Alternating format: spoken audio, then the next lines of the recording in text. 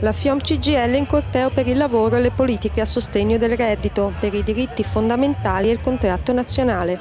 Unions per giuste cause porta in piazza le rivendicazioni del maggior sindacato dei metalmeccanici, in coalizione con le associazioni, i comitati e le realtà sociali che si muovono nel Paese. In migliaia hanno sfilato sotto la pioggia arrivati da tutta Italia con esodati e migranti, lavoratori delle grandi aziende e delle aree di crisi.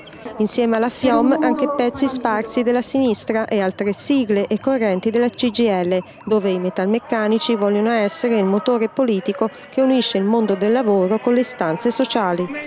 Al centro della manifestazione di oggi c'è innanzitutto una contestazione sostanziale ad alcuni dei contenuti della legge legge di stabilità.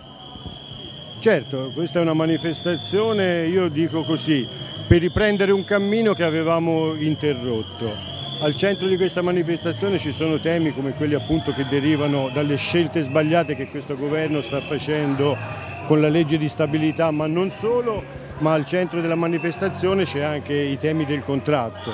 Ecco, a proposito di contratto, che cos'è che rivendicate?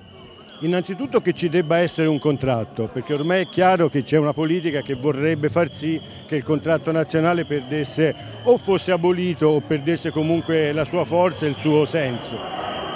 Noi sappiamo benissimo che nel settore metalmeccanico, ma è un dato che vale per tutti i settori, soltanto il 20% dei lavoratori sono coperti da una contrattazione, per cui è chiaro che verrebbe fuori un modello che lascia fuori la stragrande maggioranza dei dipendenti e poi dico io anche verrebbe fuori un modello che in qualche modo rispecchia un'idea sbagliata di società, ognuno per sé e senza più nessun legame di solidarietà. In questo modello di società riusciamo a far rientrare i lavoratori individuali, professionisti autonomi, lavoratori ai quali probabilmente una tutela collettiva forse non interessa nemmeno o sbaglio? No, io non credo che non interessi, sono in una situazione in cui non se la possono permettere non sono in grado di garantirsela, per cui io credo che una delle sfide è proprio questo, cercare di allargare la nostra rappresentanza e la nostra rappresentatività, includendo tutta questa gente che altrimenti rimarrebbe fuori.